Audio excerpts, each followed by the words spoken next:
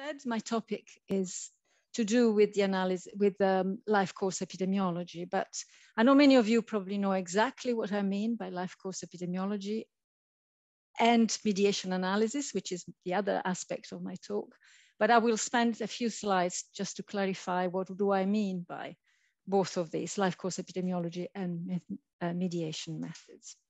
So let's see if I can change slides. Yes, so what is life course epidemiology? Well, it is broadly recognized that many acute illnesses and chronic diseases that appear in our lives later in life have origins that come from processes that happened in very early life, in utero or in childhood or in early adulthood. And uh, this hypothesis, this, uh, this, uh, the first sort of explanation of this connection between early exposures and later adult diseases came with Barker's hypothesis, which drew a link between fetal nutrition experienced um, uh, in early life and later adult heart disease. And this got quite prominence, even uh, reaching the, uh, the cover of Time magazine in 2010. This hypothesis was then sort of expanded into the DOHAD paradigm, the developmental origin of health and, and disease paradigm. And what this paradigm says is that uh, it expands, so shifts the focus from early life in utero exposure to childhood and early adulthood. Not only expands on that relative to the Barker hypothesis, but also ch changes the focus from disease to health in the sense of trying to focus also on factors that may prevent disease, not just understanding the origins of disease.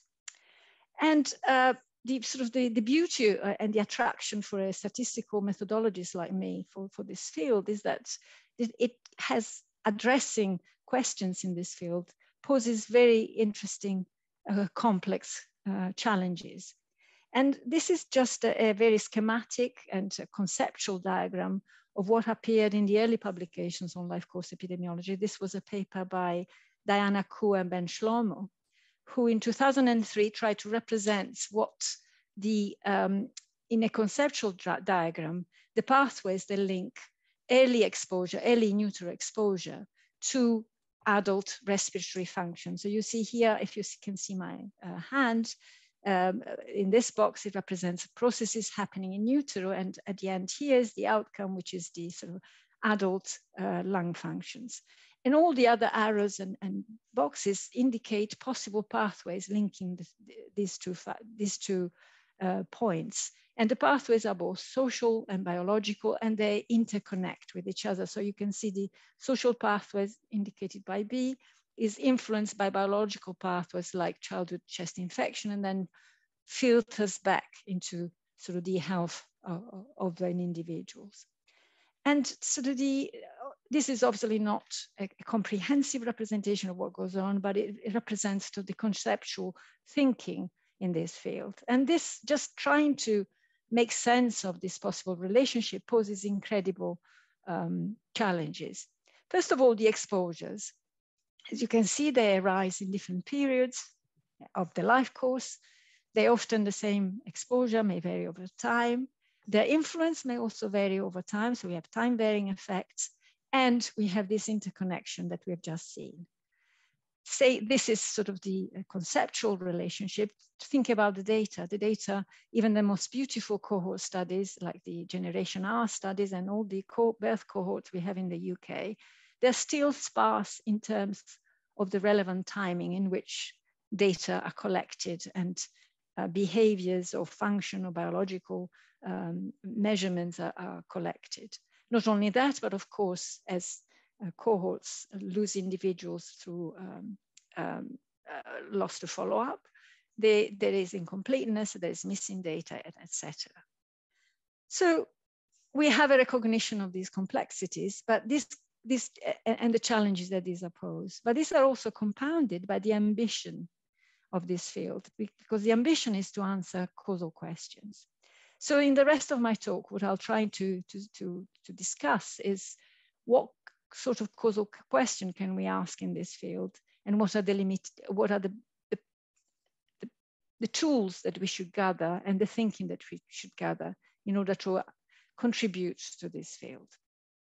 So I will first um, uh, present some simple questions, discuss possible estimates taken from the causal inference literature, and work through two examples before summarizing um, my thoughts. So let's reconsider a simplified setting of that Kuh and Ben-Shlomo uh, diagram and consider only two possible exposure, one in infancy and one in childhood. And let's say this is a repeated measure of, of illness in these two time points, and our outcome is uh, adult lung function. There are many possible ways in which these two levels of exposure and the outcome can be connected. It could be that uh, it's only the uh, insult in childhood, sorry, the insult in infancy that really drives the adult lung function. Or it could be that it's acute, that it's only the latter part of, of uh, um, the later uh, exposure time that matters. Or it could be that both matter in, in, a cumulative sense. And these are examples of what in life course epidemiology are also referred to as uh, um, critical and cumulative models of uh, the origins of disease. But of course, reality is more complex than that. It could be that is, yes, every time exposure matters, but one more than the other, or more likely that it could be a, a, a, an interaction between these two levels of exposure, these two levels of exposure, where the uh, you could hypothesize the children adapt to an earlier exposure in such a way that when confronted with a later exposure, the a, a, different environment in, in childhood, for example, there could be a synergy between the two levels of exposure. So this is again the conceptual framework, but how can we discriminate between this alternative explanation using empirical data, empirical evidence? And here comes sort of uh, sort of causal inference to the rescue, but and, and the notation of counterfactual uh, outcomes. I'm sure that I don't need to say very much about this to this department, but just to clarify my notation, I'll go through uh, a few elements of it. So the general setting now, instead of referring to exposure in infancy and in childhood and an outcome, I just refer to the two time points as uh, the two exposure at the two time points as A1 and A2, and I will define potential outcomes linked to this possible exposure. So y little a1 will be the potential outcome when we set the earlier exposure to take that value, and ya2 similarly to represent that potential outcome when we set the level, level of the second exposure. And y a1, a2 will be the potential outcome when we hypothetically intervene on both, um, on both exposure time. Finally, and for, again, for my the notation I'm going to use next, A2, large A2 with little A1 represent the potential exposure at the second time point that is would arise had we set the level of the exposure at the first time point. So having defined notation, I'll now just briefly revise uh, some commonly uh, referred to um, in uh, mediation analysis. So uh, the total causal effect, it then can be expressed as a, a contrast between expectations of potential outcomes when we uh, compare a world where everybody is exposed to the level A1 of the exposure one, this is the total causal effect for the first exposure, versus a world where everybody is exposed to the, let's say, baseline level of exposure A1. And then we have the definitions of natural directed indirect effect. I'll, I'll, go quickly because I know you, you know, most of you will have seen all this before, having Tyler as member of the department. Um, the natural directed and indirect effects are now defined in terms of, again, contrast in expectations or potential outcomes, where we either switch on and off the first exposure for the natural direct effect, we switch on and off the second exposure, but where the second exposure takes the value that would arise when we intervened on the first exposure. So how do we identify these uh, natural direct and indirect effect? Well, we need to invoke several identifying assumptions starting from no interference, consistency for exposure and mediator, as well as non-measure confounders for all the relationship between exposure, mediator, mediator and an outcome, exposure and outcome. But in addition, to identify these natural effects, we need the assumption of no intermediate confounding, which has been broadly discussed in many contexts. But in the specific examples we are considering here of life course epidemiology, such an assumption is in most situations highly unrealistic, exactly because there are so many pathways that will influence, that will affect the development of the disease through the exposures we're interested in, their downstream um, uh, effects, which will also have some origins with earlier values of the exposure. So although the interpretation of natural direct and indirect effect is very appealing and it's very um, easily um, uh, sort of a, very broadly uh, used, although not with the same formality in structural equation models, modeling and in the social sciences, because it allows this decomposition of a total effect in this, this two component of natural direct and indirect effect. These estimates are not very useful in the field of life course epidemiology. So what else can we do? Well, Tyler VanderWeele with um, others, uh, including Vansteelandt and, and, and Robins, suggested changing the focus to what uh, they call randomized interventional analogs of the natural effects. They're less ambitious for reasons that we will see. Uh, and the, the, they differ in the sense that instead of considering hypothetical worlds where we intervene on both exposures, so now obviously the second exposure in this framework act as a mediator, but I'm still thinking in terms of a second exposure in, in my life course um, scenario, we, we are thinking not of intervening on these the two uh, exposure, we're thinking of intervening on the first exposure and then looking at the how we could change the distribution of the second one. And I try to write this in, in a general format here, which these sort of interventional effects are defined in terms of potential outcomes which have this nature. Sorry, I should, I should not have the expectation here. I should just say what sort of potential outcome I'm considering here. And I'm looking at the general definition where uh, the both exposures can be uh, uh, thought of as continuous. So we think of a potential outcome where we may intervene on the first exposure, adding or not a term, so making into a switching in on and off in some form, like going from zero, one, or increasing by one standard deviation. And for the second exposure, we instead draw a, a, a, a realization of its distribution had the first exposure be set to a particular value. And here, the particular value could be the baseline value, A1, or could be a shift uh, into exposure status, for example, or adding one standard deviation uh, with the value S2.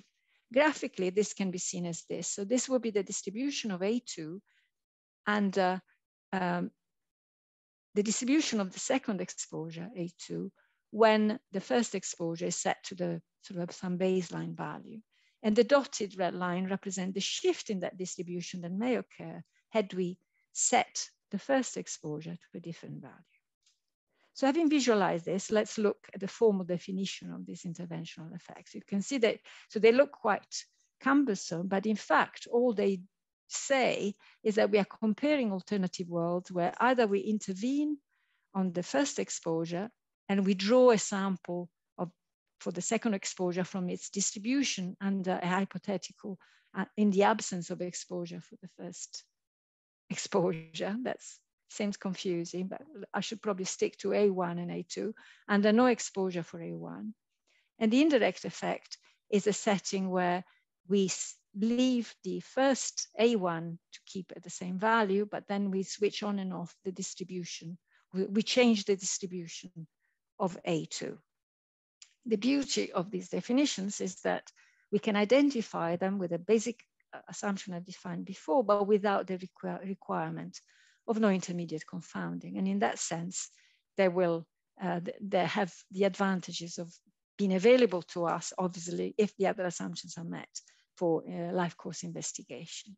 And the interpretation of these effects is that their contrasts focus on manipulating the mediator or the distribution of A2 the downside is that the sum is not the total causal effect, but usually they're very close and we could discuss this in, as a small disadvantage or a large disadvantage.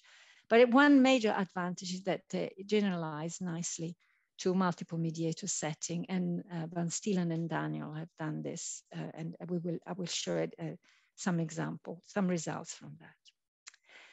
If we are not happy though to think of intervening on the first exposure, on, the, on A1, we could consider other estimates. And these are the counterfactual disparity measures also um, belonging to the work, uh, uh rises starting from the work of, of Tyler van der and Robinson and then picked up by Naimi and others. So if we are not seeking a causal interpretation with respect to, the, to A1, there is another alternative definition uh, that may be of interest, and it's the counterfactual disparity measure defined here, where you see that we are only uh, setting uh, intervene on A2 while leaving A1 to an, uh, an observed value, either exposed or not exposed.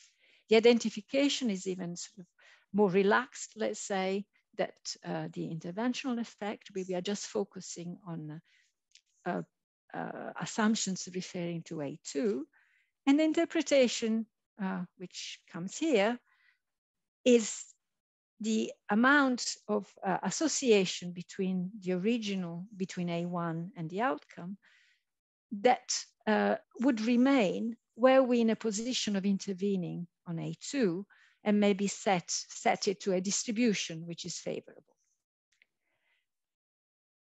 Now I'm going to introduce something maybe we are less familiar with, which is a combination of these two, and these are the interventional disparity measure. This is a variation of the counterfactual disparity measure that I've just uh, showed you, but it incorporates the ideas of interventional effects. And this was proposed in a paper to which I contributed by Nadia Micali, but the real sort of brain behind these definitions is and Daniel, who developed uh, sort of the, um, the methodological aspects of this. But let me describe what the interventional disparity measures are First of all, in terms of direct effects. So you can see the format is the same as what we are just seeing in terms of counterfactual disparity measures, where we condition on observed levels of the um, first exposure, either say exposed versus not exposed. But we have replaced a particular value set for A2 to a random draw from the distribution of A2 under certain favorable conditions. The interpretation of this direct um, interventional uh, disparity measure is, would be the association that would remain if we were intervening on A to, to, to, if we intervene on the distribution of A2. The, we can also define an interventional disparity measure for the indirect effect. And then again, you can, you can see very nicely what we are doing here. We are just switching the distribution of A2 while conditioning, looking only at those who are exposed in, uh, in A1. And interpretation is the extent to which the outcome in those not exposed to A1, which would be um, the, uh, this group here, would change had to been drawn from the distribution of those exposed to A1, which are these. The identification for both interventional disparity measures are weaker than uh, assumption than for interventional effects in the same way in which the uh, counterfactual, the simpler version that I just described are. And there is this, this beautiful generalization to multiple mediators, which has a potential again to give us tools for life course epidemiology.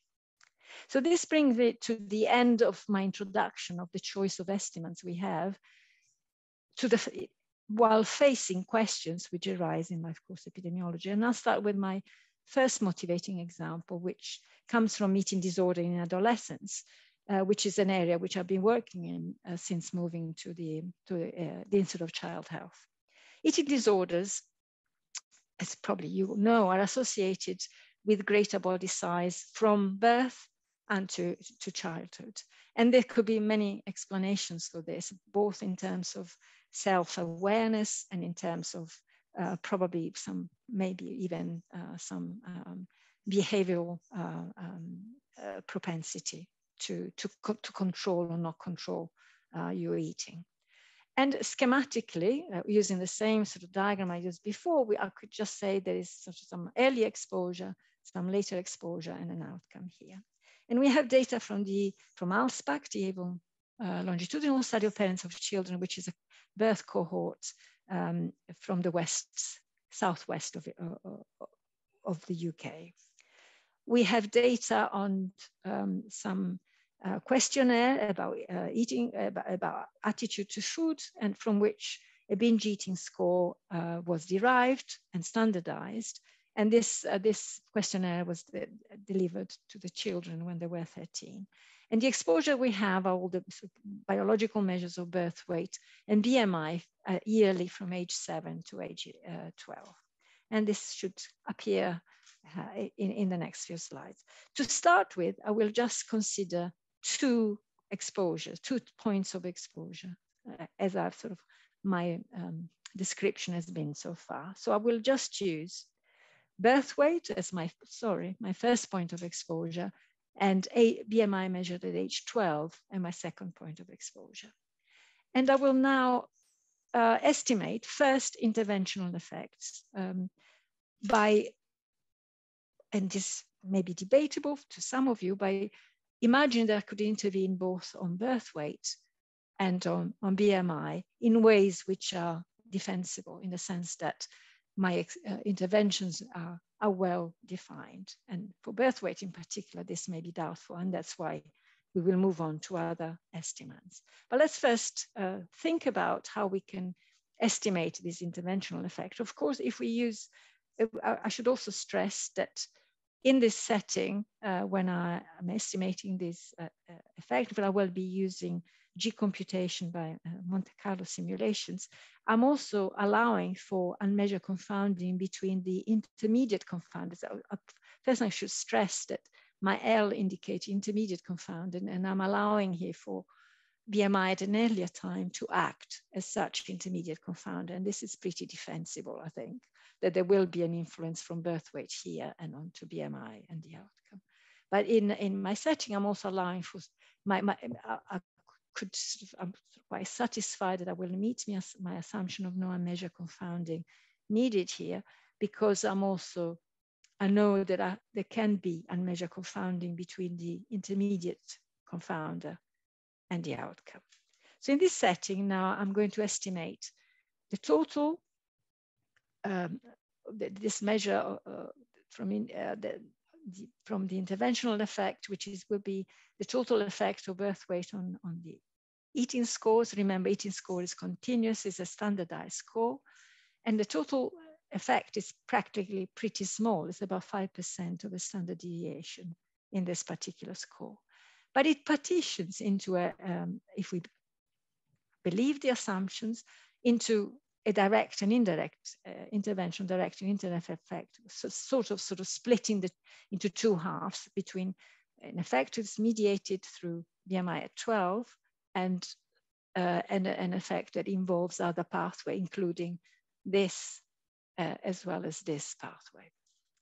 Now, I may, uh, how do I interpret these, these measures? Well, the interventional direct effect, I'm just checking the time, would say that shifting the birth weight by one standard deviation, which is my uh, exposure, while holding the distribution of BMI constant, will lead to an increase in binge eating by that amount.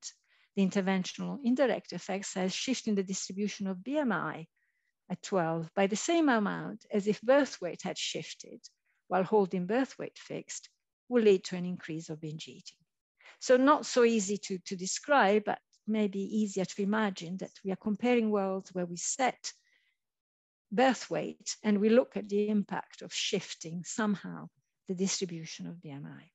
If you weren't happy to uh, think of uh, uh, um, intervening on birth weight, we may adopt the second bunch of estimates I've introduced to you, which is the interventional disparity measure.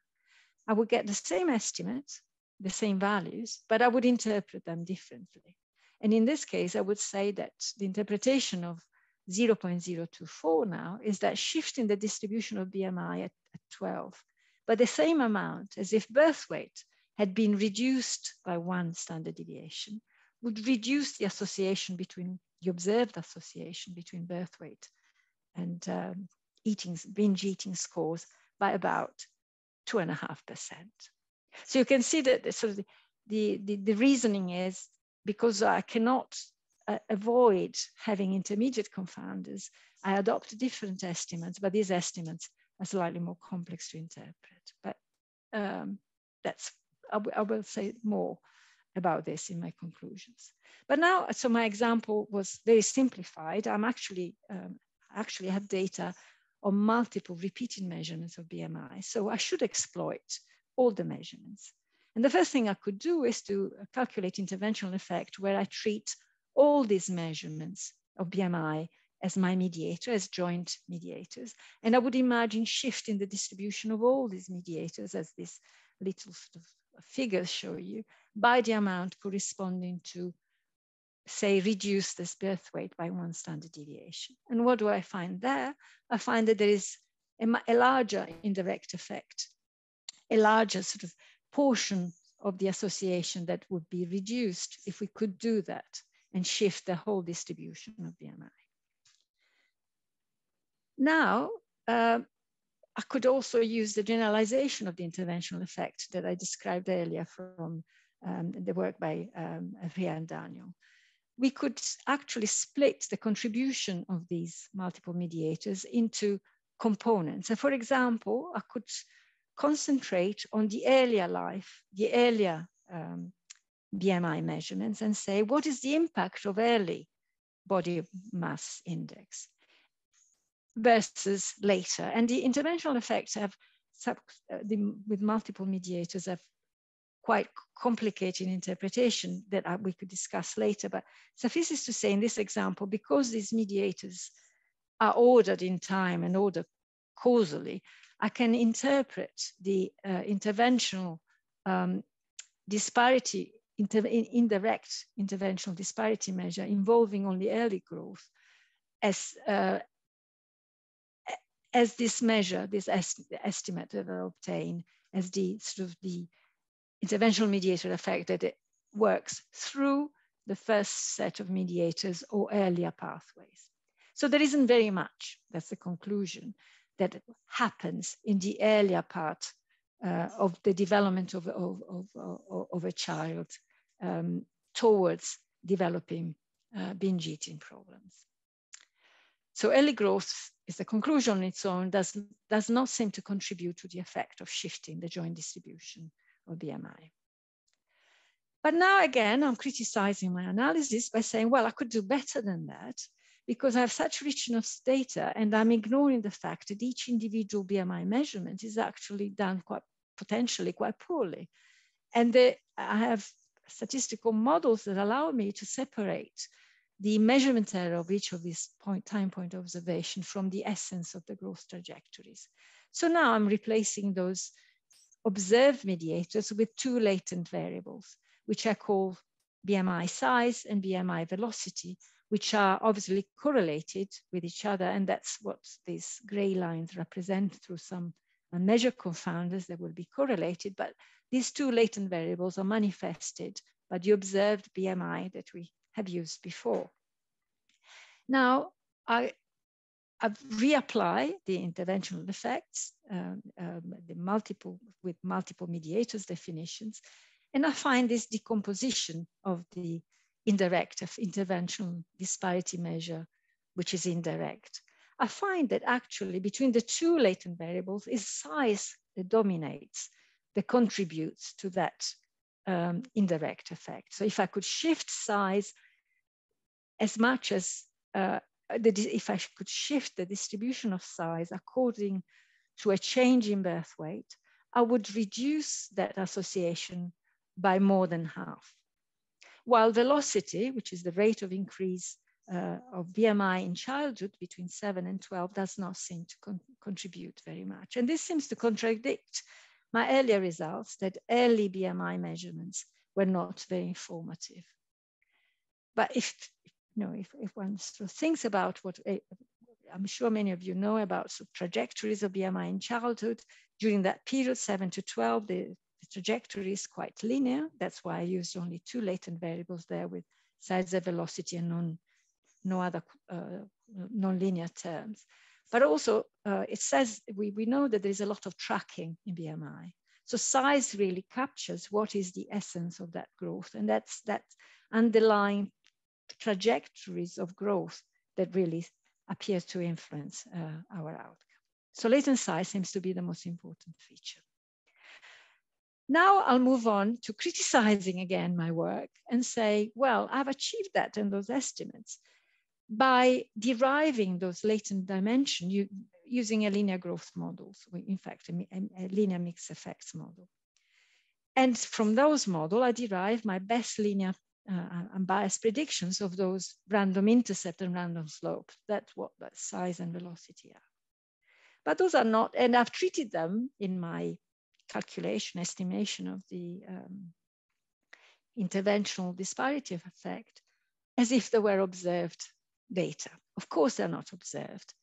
I have accounted for that in my inference because I've allowed for the fact that the, uh, by bootstrapping, I allowed the estimation of those random effects to, to add noise to my inference. But conceptually, I have really used them as if they were observed. So I've not accounted for the fact that they are probably measured with the individual predictions are affected by measurement error. This may not, doesn't seem to be a great problem as I've sort of, um, as we will see in a moment. Well, this may be a problem or not, but certainly that brought me to worry about uh, the fact that if your latent variable is continuous, you would expect some noise, but pretty uh, um, non-differential noise.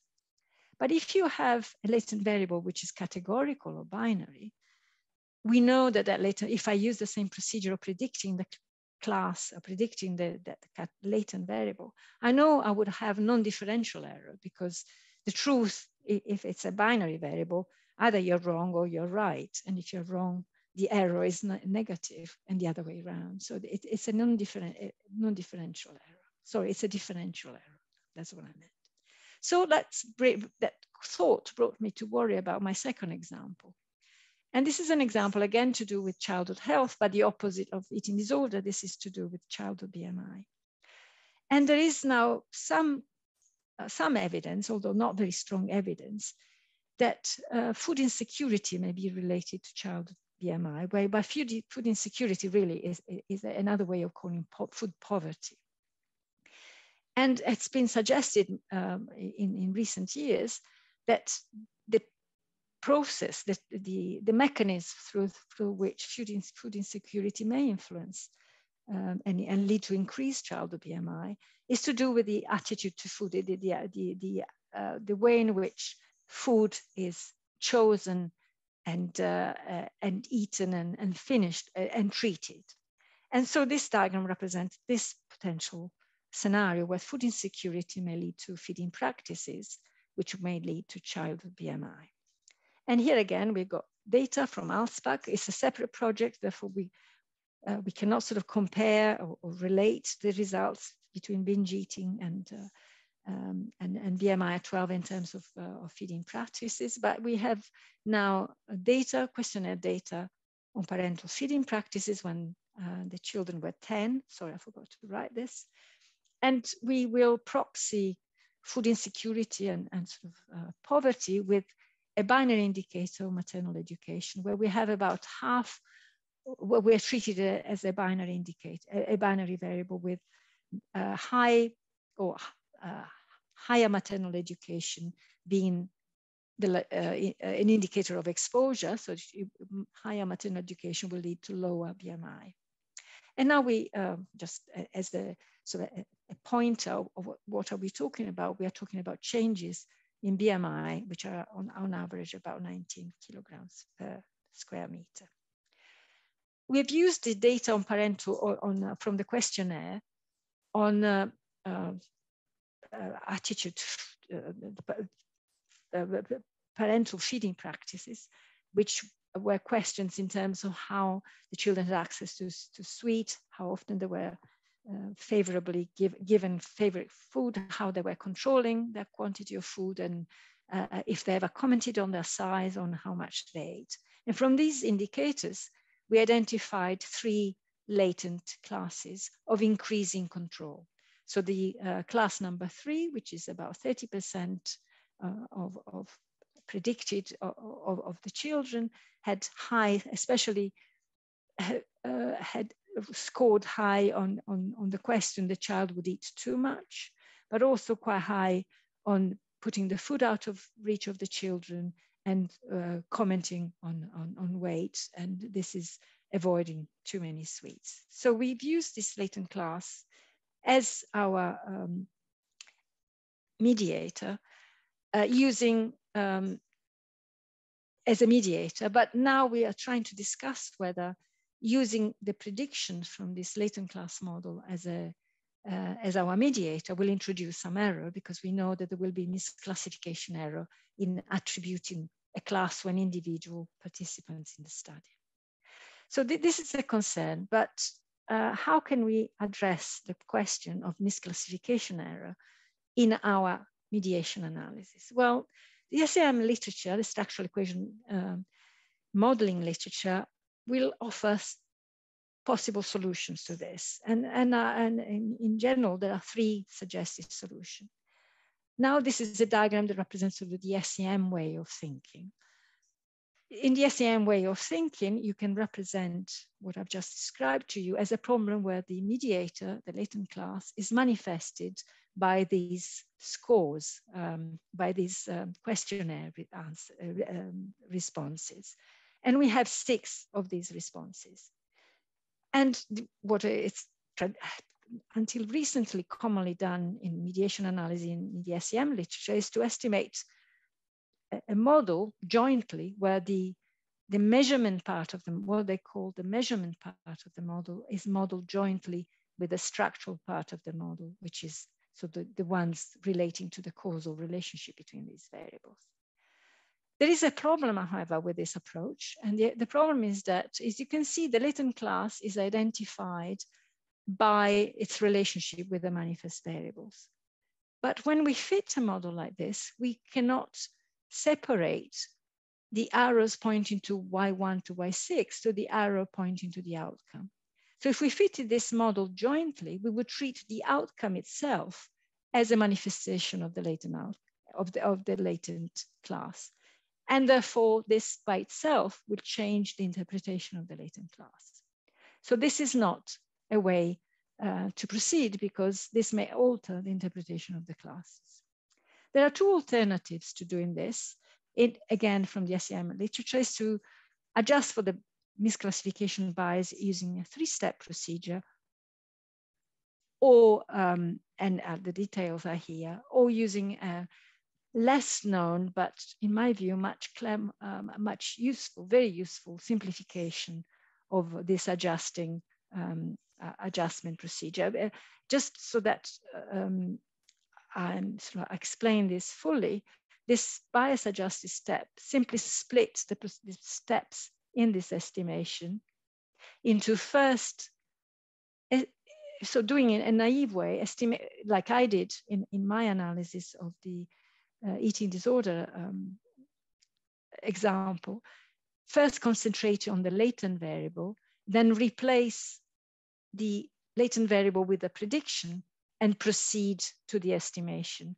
But, and this will be step one and step two in this, uh, in, in this bias adjustment method. But there's a third step, which is the step of correcting for the misclassification, which is new to what I did before the nice thing of the two-step method is that this is the, uh, the second step in a way is, is it, you can avoid the second step and achieve the same the same as this, the same result.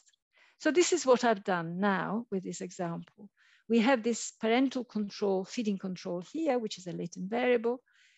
And I have used the two-step method to correct for the misclassification of that class.